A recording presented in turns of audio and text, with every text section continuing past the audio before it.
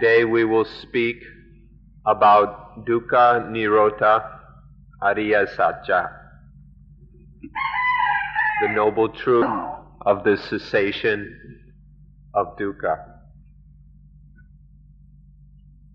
We ought to make a correct understanding of each of these words until each word is clear and precise. And then this, the whole matter that we're discussing will be understood quite clearly and simply. And we should never forget to, for a proper perspective, to remember the, the framework of the Ariya Sacca. What is it? From what? For what? And by what means? And so now we've come to the third of the Ariya Sacca, which is for what purpose? What is the purpose of the Noble Truths? So if, when we come to the word Nirodha, obviously there has to be something about this which is of value and benefit for human beings. And so we need to, to examine this, this matter in the meaning of word nirodha until we understand its, its value thoroughly. However, when we, bla- when we translate nirodha as extinction or cessation, which are the most common translations, then it, it may sound like something that doesn't have much value. And so we're not very convinced that these are appropriate translations. We would like to consider this matter quite carefully. Literally in the Pali language, nirodha means to, to go out without any remainder, to go out so that there's no remainder left. There's nothing to go out with nothing left over. In this is quite different with a kind of temporary going out, where something ceases to exist temporarily. In Pali, there's a completely different word for that. Atankama. Atankama is a temporary ceasing or temporary not existing. When something doesn't exist for a while, it's called atankama. That not existing is atankama. But then a while later, it comes back, it exists again. That temporary kind of going out is not what is meant by nirodha. With nirodha, there's nothing remaining whatsoever. And so there's nothing to come back. An easy example of the of a tankama is it's used for the sun. For human beings, the sun arises in the morning and then it goes out, it sets in the evening, and to the human being it's gone. But then in the morning it comes back again. That that kind of setting of the sun, a temporary going out is called a tankama, which is different than nirodha, which is complete and final. So a tankama means that right now it's not existing. Not ex- a tankama means not existing at the present moment. But then it can very easily come back later. This meaning, this temporary kind of non existence or cessation, is not what is meant by nirodha. Nirodha is where is the whatever it is has gone out completely. Whatever we're talking about, it's gone out completely so that nothing is left over. Or, but be careful what it means, nothing of that thing is left over. However, there are other things that remain. That thing itself now has gone out completely, and none of it remains, but certain results will remain, certain fruits of its having gone out will remain. So when we talk of dukkha, nirodha, we, we feel that the word quenching is probably much more appropriate, much more fitting the meaning of nirodha. That dukkha quenches, and then none of the dukkha is, is left. But there is certain, certain benefits or certain results which remain, but the dukkha has been totally quenched.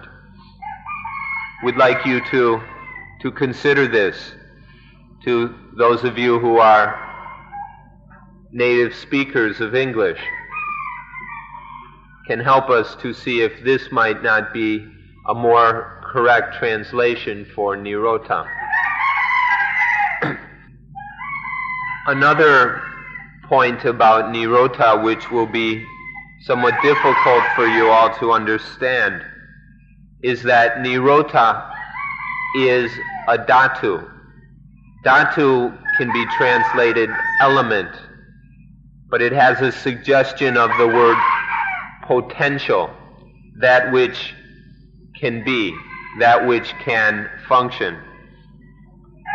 Everything in the universe is nothing but, but elements. Everything is made up of elements and everything is nothing but elements. And we can, all the kinds of elements fit into three basic kinds. There's rupa dhatu, means elements that have form, which are material elements. And then arupa dhatu, immaterial elements, non, non-physical elements. And then nirodha dhatu, the element of quenching the quenching element. All the other dhatus, all the rupa and arupa, the material and immaterial dhatus, are quenched when they come into contact with nirodha dhatu. All those other elements go out. They're quenched by nirodha dhatu. This is important thing to try to understand about nirodha, that it is one of the elements, and it is the element which is the quenching or the, the quenching place for all, all other dhatus, for all other elements, whether physical or immaterial.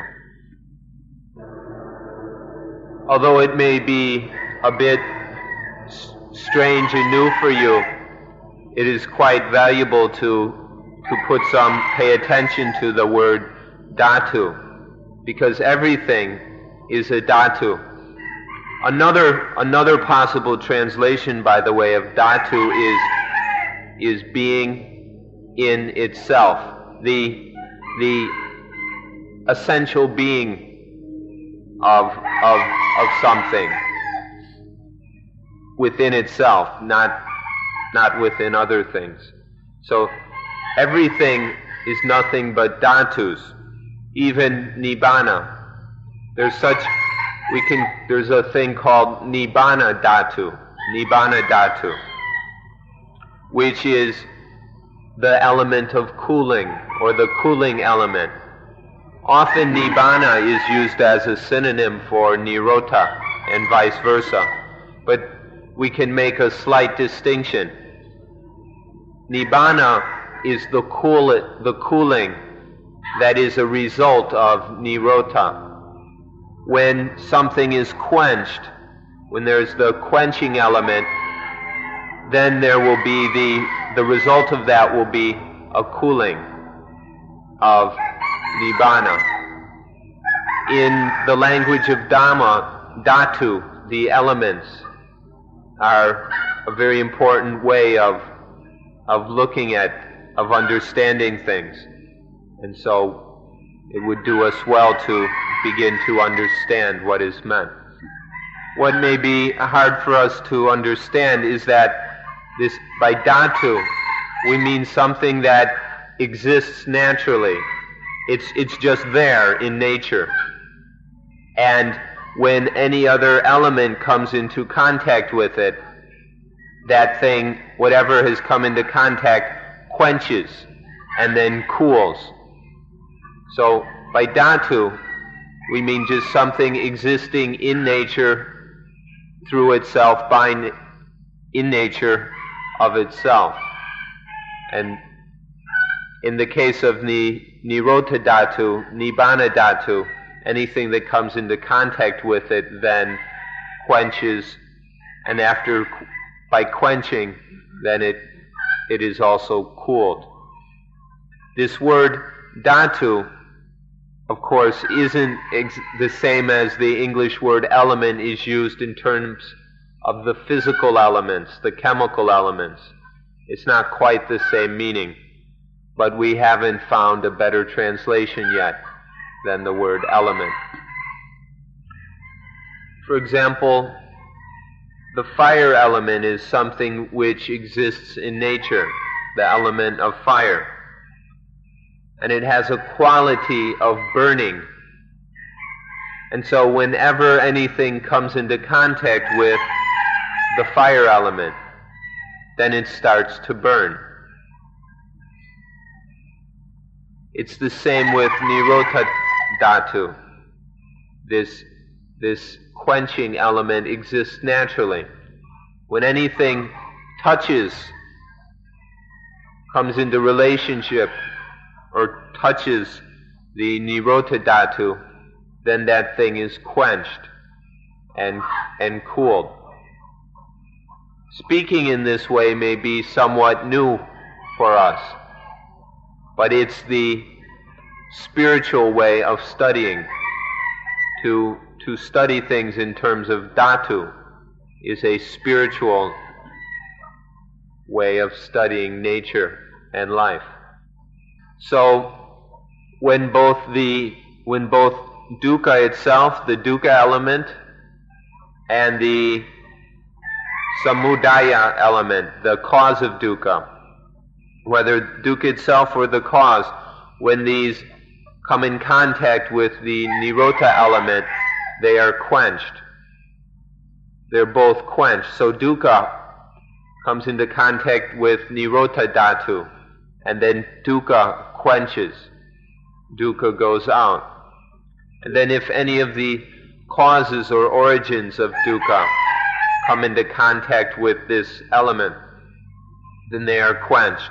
So if ignorance comes into contact with this element, ignorance is quenched. Or when attachment, upadana, comes into contact with it, it is quenched. When craving comes into contact with the nirodha dhatu, craving is quenched.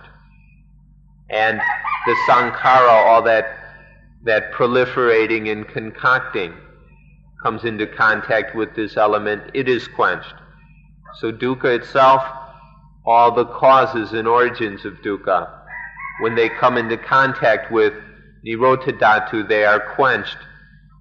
And none of these things remain and there's nothing left over of these things.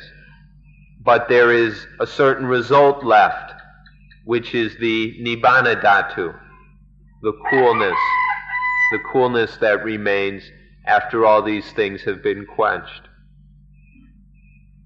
And there is another thing associated with nirodha dhatu. When there is this quenching, when these when dukkha and the causes of dukkha have been quenched. Along with that, there is the the quality or the the activity of liberating, of emancipating.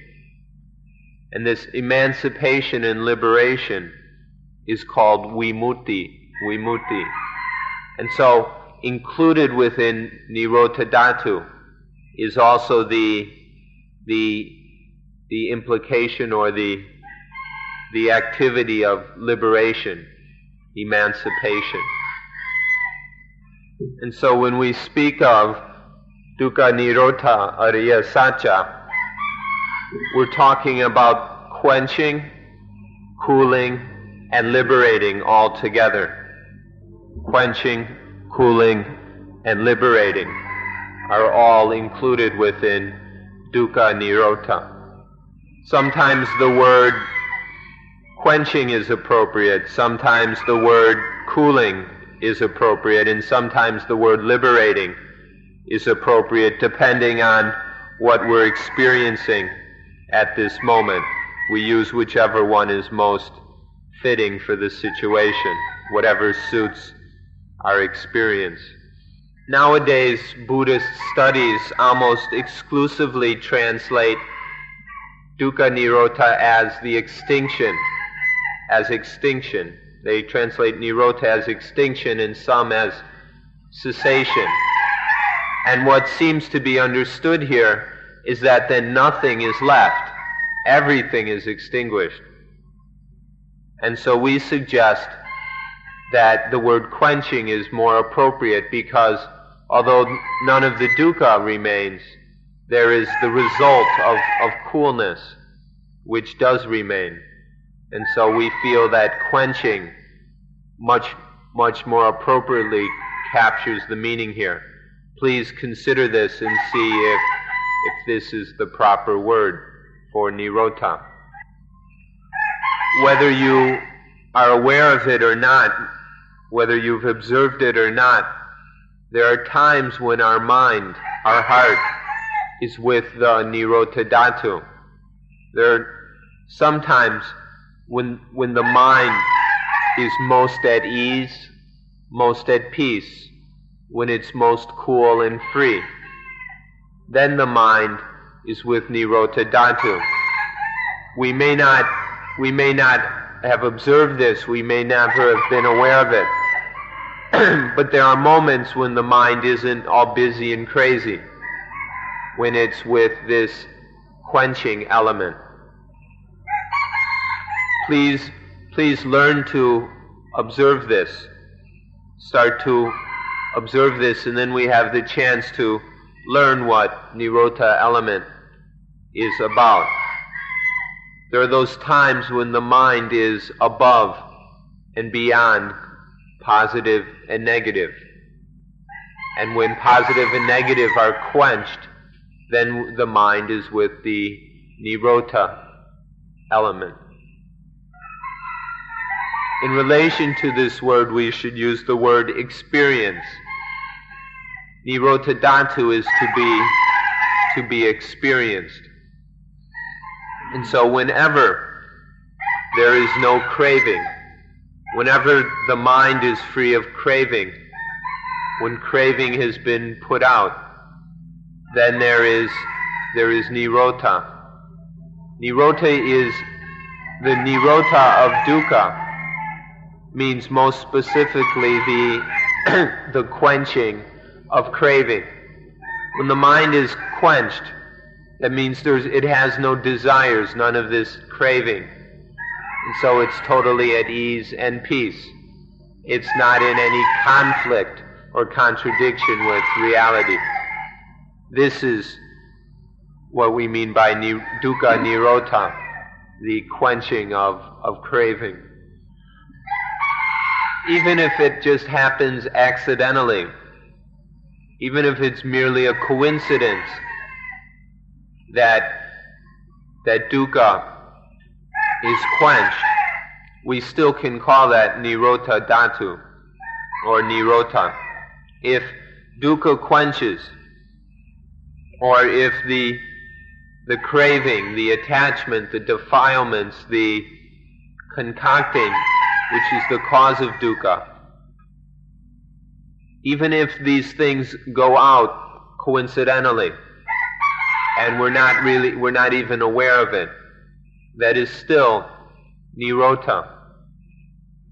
However if we're not aware of it we don't have the opportunity to learn anything of value and so we overlook the importance of this but this is our opportunity to to learn about what nirodha is. To wherever dukkha quenches, whenever there is the quenching of defilements, of craving, of attachment, of, of the concocting and proliferating. Right there is the opportunity to experience and learn about Nirodha, Dukkha Nirodha.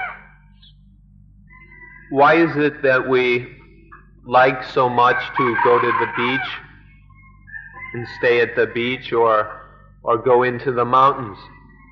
If we look very deeply into the nature of what's happening, we'll see that in, cert- in these kinds of places, it is generally much easier for the mind to experience Nirodha Dhatu. Now, we may not have realized this consciously, but these certain places provide surroundings that make give much more opportunity for Nirodha Dhatu to appear to the mind. Now, if we're if we're careless or foolish, we don't use these opportunities and we just get lost in various kinds of pleasures and stimulations. But if we look on a deep level, we can see that some of these settings or environments provide a much easier opportunity for the mind to, to experience nirodha. It's quite unfortunate that nowadays all these places are not, they're not set up anymore to help one to experience Nirodha Dhatu. They're all set up in the opposite way for other kinds of things, in a way that kind of prevents or obstructs the opportunity to, to experience this quenching.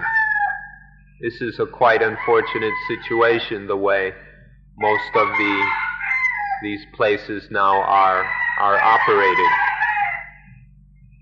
If we examine carefully, we'll see even that the instincts, that our own instincts have a tendency towards nirodha dhatu.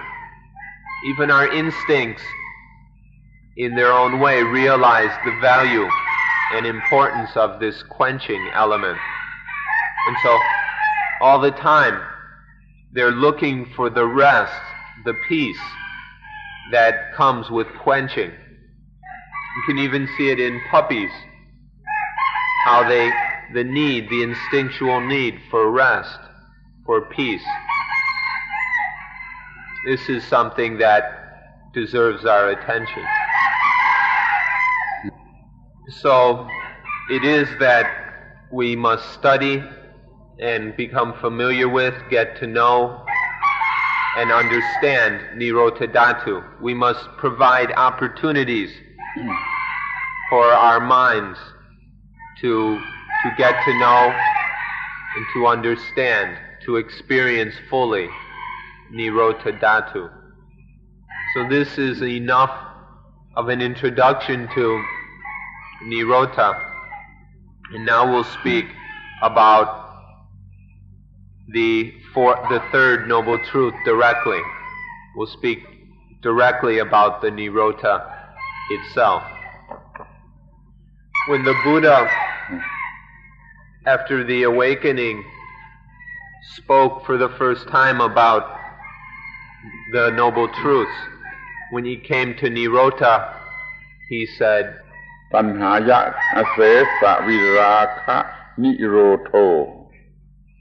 the remainderless quenching of of raga. Raga is lust but it's here used as a synonym for craving. So the quenching of craving so that nothing remains. And then jaka which is to give give things up is to give up. And then bati nitsaka, which has the meaning of giving away, but giving it back to its original owner, giving back to the original owner, meaning nature. And then mukti, which has the meaning of, of release or freedom, which has basically the same meaning as vimutti, liberation, emancipation. And then the last is analaya. Alaya, it means without. Alaya. Alaya is to is to think back on or to reminisce about, to long for.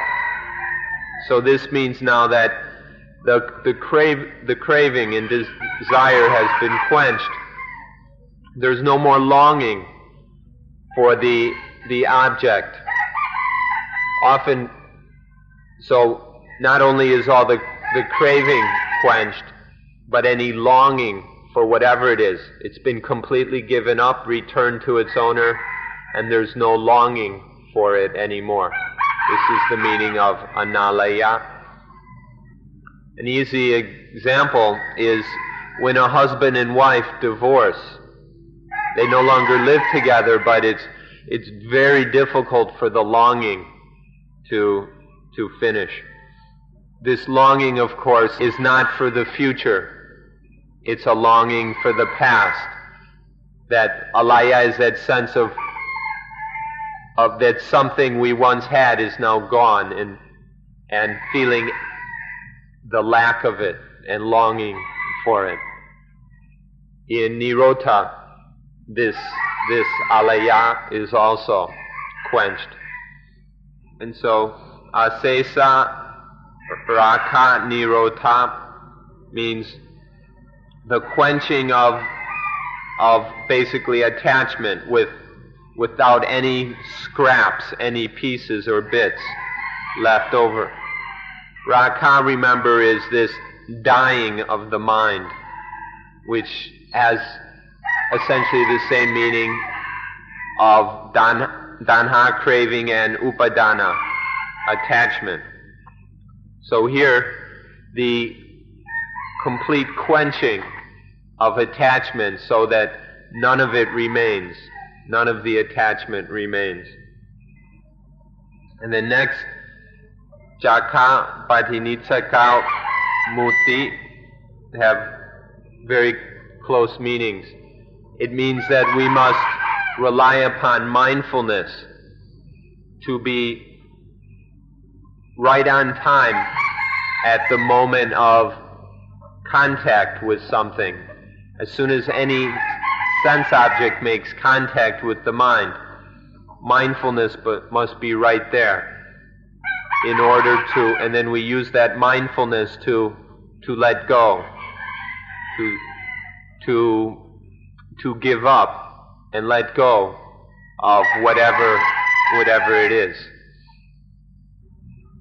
So, for Jaka, giving up, Patinissagga, returning to the rightful owner, giving back to the rightful owner, and Muti, becoming free. All of these, sati, mindfulness, is, is crucial. Then we come to the one that's, that's a little more difficult, analaya. For analaya, samadhi and wisdom, panya, must be, must be sufficiently strong. Samadhi is the mind's, must be pure enough, stable enough, and active enough to be able to not, not long back for whatever it was. So this takes sufficient samadhi as well as sufficient wisdom. So when we act in this way, then there's nothing left of craving. Craving is quenched. And then there is coolness. And this, to live in this way, of course, one needn't die. This is a kind of active living. This is an activity of living. This quenching that we're talking about. There's no need to die, and it has nothing to, to do with death. There's life, and in life, all craving, all attachment, all dukkha has been quenched. and there remains a, a life of coolness. So earlier we discussed how dukkha arises from attachment to the five khandhas. And we've explained how by quenching that attachment, then dukkha is quenched. So the most perfect or complete meaning of the word nirodha, quenching, is quenching the attachment in the quenching the attachment regarding the five khandhas. This quenching must start with the quenching of ignorance, and then craving quenches, and then upadana attachment quenches. This is this is quenching. This is how quenching must be for it to be complete. And as we mentioned, there is the very important synonym of nirodha. The synonym, of course, is nibbana, which means cooling or coolness. Nibbana can be understood on many levels. There's ordinary meanings of the word as well as the highest meaning of the word. When there is the perfect quenching of dukkha, so that no dukkha remains. We call that nibbana. The perfect quenching is called nibbana.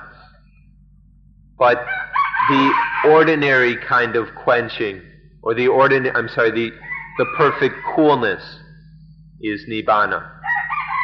But the ordinary coolness that an ordinary person can experience this, we use a somewhat different word, though it has the same derivation. The word nibbuti. Nibbuti is something that any, anybody can experience in, in ordinary life. Nibbute means basically a cool life. This, so there's the highest meaning, which we can call nibbana. And then there's a more ordinary, common meaning, which is Nibbuti. In Thai, we have a, a word for this which is just a cool heart and mind. A cool heart and mind. This is what is meant by Nibbuti. It's when the mind is at ease, it's relaxed, it's peaceful, in a way that has nothing to do with the defilements. When the mind feels good, in a way that's unconnected to defilement. This is what we mean by nibbuti. You can even just call it having a good time. If it's having a good time, but without any defilements present, that's what we mean by nibbuti. Everybody likes, or everybody loves this nibbuti. Whenever the mind has some, it, it really enjoys it but nobody knows the name of it, so we thought we'd, we'd let you know. Everybody really goes for this Nibbuti, even though the name of it isn't known. It's, we're not sure exactly how to translate it into English, but it basically has the same meaning as Nibbana, only that Nibbana is complete and perfect. It's, it's final whereas Nibbuti is temporary. It's, it's not yet perfect, but it has the same basic meaning of, of coolness. We can call it cool life or cool living. If it's, if it's not yet complete and perfect, we call this cool living Nibbuti. But if if the cool living is complete and perfect, then we call it nibbana. This is the meaning of, of nirodha. When all, when all craving and attachment has been quenched, then there is cool living, either in the the incomplete or the complete form. Now let's be helpful for us to know some more about perfect nibbana, perfect coolness. When, when the defilements of greed, hatred, and delusion have been cooled completely, when none of the defilements remain in even the least way, but still the mind discriminates between positive and negative. This is the first aspect or first stage of, of Nibbana. Then, when the defilements have been cooled completely, there's no greed, hatred, or delusion remaining in, in the least way, and the mind has no, no feeling or sense of positive and negative. That is the the second aspect or stage of Nibbana. The first one, where there's no defilement, the mind is completely cooled, but there's still this positive and negative. This is called sa upadisesa nibbana. Nibbana with a little, a little bit left, little fuel remaining, meaning the positive and negative. But then when there's no defilement and no positive, no negative, this is called anupadisesa nibbana. Nibbana without any of that fuel, any of that positive and negative remaining.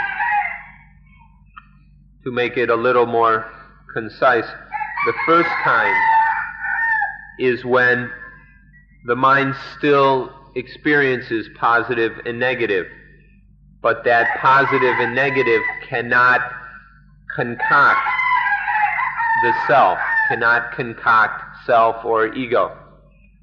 In the second kind, the mind doesn't experience positive or neg- and negative at all.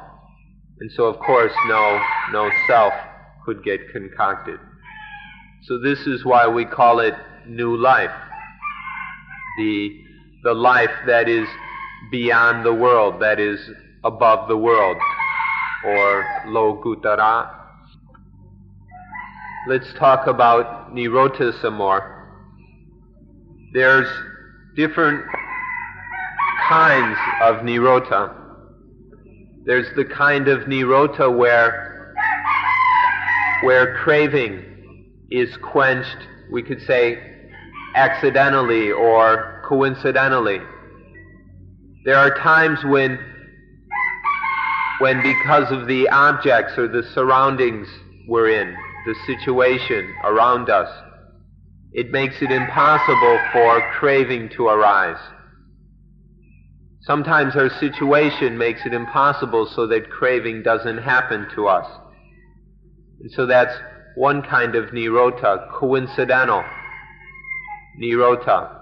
It's coincidental depending on circumstances. It has nothing to do with our own effort or wisdom.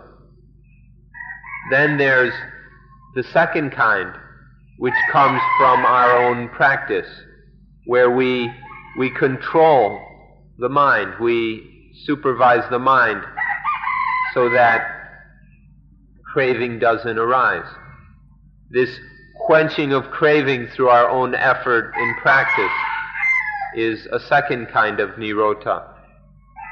And then there's a third kind where, where all craving has been quenched completely. So there's not any possibility that any craving would arise again. All craving, attachment, and ignorance have been quenched. And this is perfect quenching. This, we no longer have to actively practice as before. Now it's, it's automatic quenching. This, this third kind of quenching, this perfect quenching, is the quenching of the arahant, the, the awakened being, the perfected human being. Anapanasati mindfulness with breathing, will enable us to discover and experience all three types of quenching.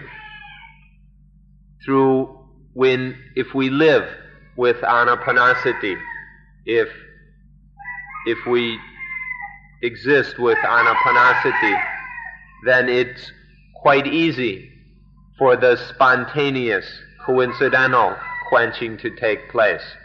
It will happen quite, quite often. And then through anapanasati, we are more and more able to quench things through our own practice. We have the, the knowledge, the understanding, and the ability in, in stronger ways. And then anapanasati gives us the possibility to, to get rid of the defilements so, so that there is the, the complete and perfect quenching. So all three kinds of quenching can be experienced through anapanasati. To completely explain how anapanasati leads to these three kinds of quenching would, would take quite a bit of time. To explain the methods and all that of anapanasati would take more time than we have, so we'll, we'll leave that for another time. But now we'd like to talk about some of the, the, the tricks we use in, in, in dealing with, with this situation. First of all, in dealing with, we don't attack the situation head on. We don't struggle head on, but we come at things from the back we kind of sneak up on the problem from behind. We don't, we don't just plow right in straight at the problem. We, we sneak up on it from behind. What this means is we don't, we don't get in there and struggle with dukkha straight on, but we, we sneak around behind and remove the cause of dukkha to get in there and fight it out with dukkha is a real hassle, and it's, it's not very successful. Our, the trick we use is to get there behind it and remove the cause.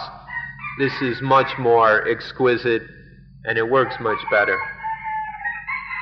Two, we've got a, a nice phrase in Thai that we'd like you to learn because it explains this point quite well. It's a proverb. Ao my san ran ki. ki which in a crude way, it has a rather crude meaning, and so I'll translate it with some rather crude English words, which means to hit shit with a short stick. To hit shit with a short stick. Key is, is feces or, or anything that's really dirty and stinking up the place if we take, and if it's to clean it up, we've got to get rid of it. If we do that with a short stick, this means like they used to use sticks to scrape scrape the toilets or to to clean up the manure around the place. If you use a short one, it makes a real mess, and you you end up covering yourself with all this feces as you try to clean it up. It makes a real mess and stinks up the place. It's much better to use a long stick, and then you yourself don't get dirty. So, attacking dukkha straight on is to ao mai san ran ki, to take a short stick to beat shit. But we suggest the skillful means of using a long stick. It's much easier, it's much cleaner, and we don't suffer so much.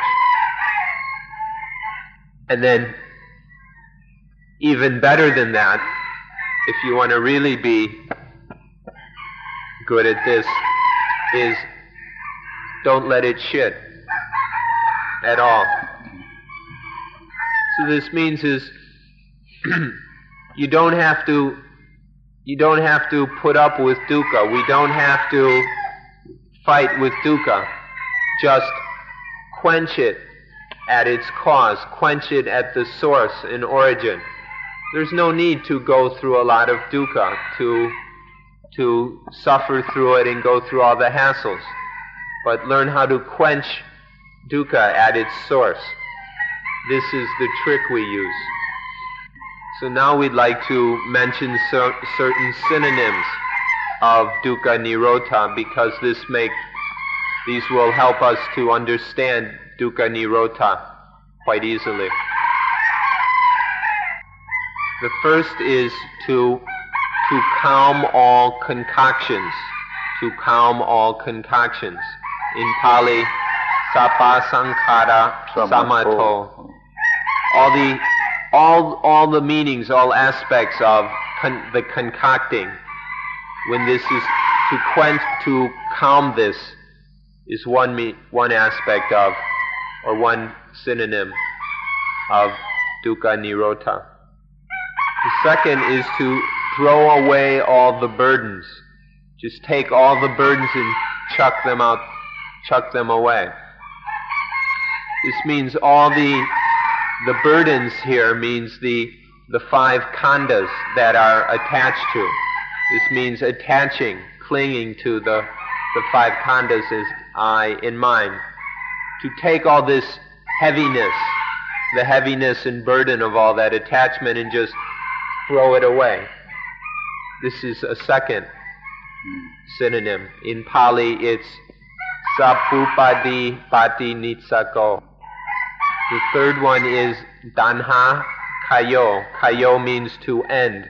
So it's the ending of craving. To make craving end. To end craving. Then virak, virago. This means the fading away of all that, all that, whatever dyes the mind. This attachment and everything that dyes the mind. That dissolves and fades away until none of it is left. There's nothing dyeing the mind anymore. When the raga has faded away, this is virago. And then next the word nibbānang, nibbānang.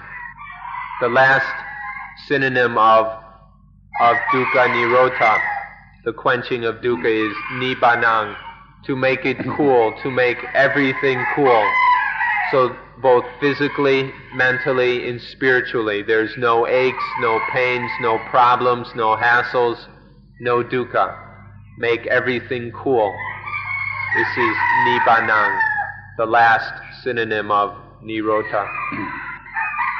So these, once we understand the meanings of these words, the meaning is quite, quite beautiful. It's a quite beautiful sounding thing. So sometimes we just repeat these, these words to ourselves. Sabba Sankhara Samato Sabupati Pati Nitsako Danhakayo Virako Niroto Nibbānang.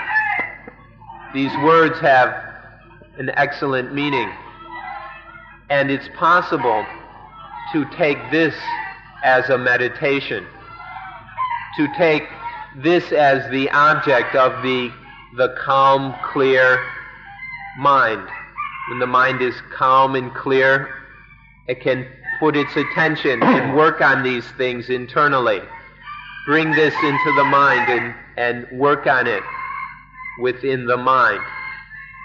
When th- we do this, it's called Dhamma Samadhi, to, to concentrate on Dhamma. But concentrate here not in a tense way, but with a, a still, calm, clear mind. In the Pali, the Pali text, the Buddha calls it Dhamma Samadhi, but now nobody talks about it anymore. But it's possible to take take these synonyms or take take nirodha itself as an object of meditation. However, in practice, the fourth stage or the fourth part of anapanasati is this kind of Dhamma Samadhi. It doesn't go by this name, but in practice it has the same effect, the same result to take quenching as the object of meditation. So this this is is basically included within anapanasati. You can go to Burma, Sri Lanka, India, Nepal, or, or wherever, and wherever you go, you will never hear about this. Nobody will be talking about Dhamma Samadhi. It may sound strange, but one can take Nibbana as the object of meditation, to take Nibbana itself as the thing to, to work on within the mind. This is, and in anapanasati, this is actually done, although it goes by a, it just goes by the name anapanasati, but it has this dhamma samadhi included where we actually, the mind actually takes nibbana as its object of study in contemplation. So to, to concentrate the mind upon, to, to gather the mind upon fully and focus it completely upon coolness, upon the, the quenching. This, this is what we mean by Dhamma Samadhi. We can do it anywhere. We don't have to go anywhere to do this kind of, of Dhamma concentration concentration upon on Dhamma. Or if we, we speak in a quite ordinary way for ordinary people, we can just say, aim for peace, aim for peace, or set your sights on calmness, set your sights on calm. Whatever we do, aim for calm.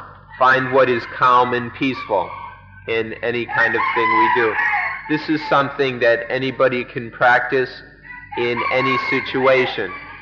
We can, we can aim for the peace and the calm that can be found within that, that activity, that situation, that thought, whatever. Nowadays, people around the world love to talk about peace and talk about making a peaceful world and these kind of things but it never happens. There's a lot of talk about it in meetings, but it, it's never actually happening anywhere because people don't know anything about dukkha nirodha.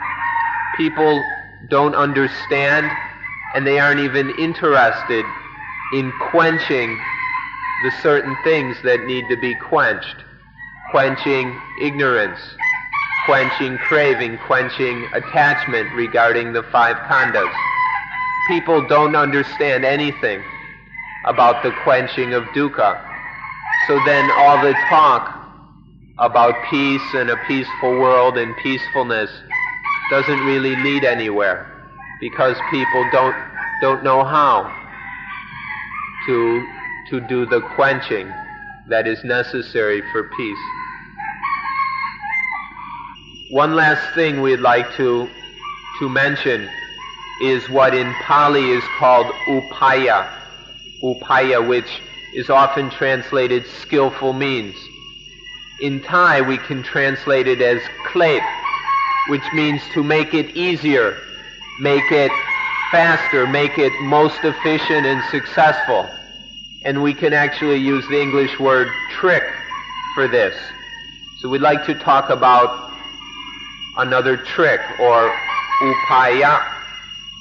And this, this we can in in another metaphor for this is to I'm having trouble translating this one, but to take salt, put mm-hmm. salt into the salt. Something like this salt into the salt. Jim is like if you take your donut and you dip it into coffee, or something, a French fry, and you put it, dip it into sauce. So to take, dip the salt into the salt. Take salt and dip it into the salt. This is the trick we use to to deal with this our situation of dukkha. This means to to take dukkha and dip it into dukkha. Use dukkha to solve dukkha. Or we can say use use tanha to solve tanha. Mm-hmm. Use craving to get rid of craving. Use use craving to remove craving. This is a trick we can use. Or another another idiom for this is to use thorns to pick out the thorn. If you step on a thorn and it gets stuck in your foot and then breaks off, it's very hard to get out. We can take two more thorns and then stick them in along the first one and pull out the first thorn. So use a thorn to pick out, to dig out the thorn. This is what we mean by dip the salt into the salt or use dukkha to get free of dukkha. Use tanha to get rid of, use craving to get rid of craving. This is a trick that we can use quite successfully. What we must observe is that it's a different kind of salt that we use. It's, we don't use the same salt. There's this salt, and we bring in another kind of salt to, to dip in. Or we don't, to get that thorn out, we have to take another thorn to dig it out. So when we talk about using dukkha to get free of dukkha, using craving to get free of the, get rid of the craving, it's a different kind of craving. It's not to use the same old craving, but to use a, a new, a different kind of craving to get rid of the old stuff. No. So notice, although the name is the same, the meaning is different salt and salt, thorn and thorn, craving, craving. The names are the same, but the meaning is different. It's a different kind of salt, a different kind of thorn, a different kind of craving. So then, when it comes to using craving to get rid of craving, we don't use that this this new craving is means something else. We can use the word tanha, but we mean something different with it. We just mean a certain new kind of want or a different kind of want. The old kind of want, that blind craving that comes from ignorance is, is nothing but trouble. So we, we're going to use a, a different kind of want or desire, or what we can call aspiration. Aspiration, the desire to be better, the desire to do better, to be better, to use this to solve the problem of tanha. So it's, we use the same name, but there's an important difference in the meaning. We can't use that same old problem to solve the problem but there's something similar, which we can even give the same name, that can help us to solve the problem. Within dukkha, there is the quenching of dukkha. The arising in existence of dukkha always contains within it the quenching of dukkha. They're not in separate places. Dukkha and the quenching of dukkha are always together. This means that if we look carefully into the dukkha, we'll find, we'll discover the means to quench the dukkha. This means dukkha will teach us how to quench it. If we understand dukkha thoroughly, within that will be the knowledge of how to quench it. So within dukkha is the quenching of dukkha. If we study carefully, if we are honest and open and sensitive, then dukkha will teach us how to quench dukkha. So this is the meaning of using a thorn to dig out the thorn.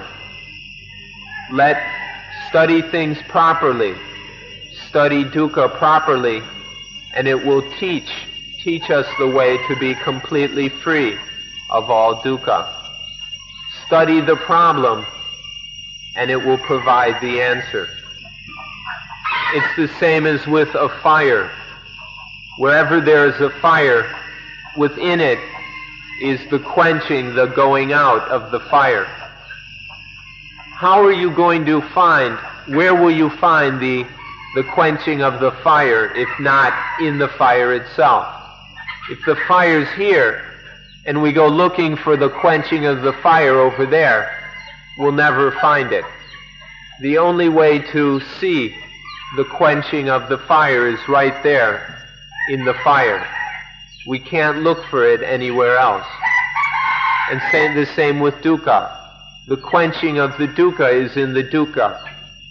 To look for the quenching of dukkha somewhere else is an endless, foolish, impossible journey. The, the end of dukkha, the quenching of dukkha, is always right in the middle of the dukkha. So we actually ought to be quite thankful we ought to have a great bit of gratitude towards dukkha that it teaches us. Dukkha keeps teaching us and making us smarter and wiser. If we're, so we ought to be thankful that dukkha teaches us in this way. The only way, the only place to see the end of dukkha is in dukkha itself. There's, we have a pond at Suan Mokkh which is meant to symbolize what we're talking about now. It's called the Sa Nalige. The, the, it represents, it's a single coconut tree in the middle of the sea of, of burning wax. And this symbolizes Nibbana, is in the middle of dukkha. The only place to find Nibbana is in dukkha. This is an important trick to Dhamma practice. For us to sublimate craving. There's all this craving in our lives.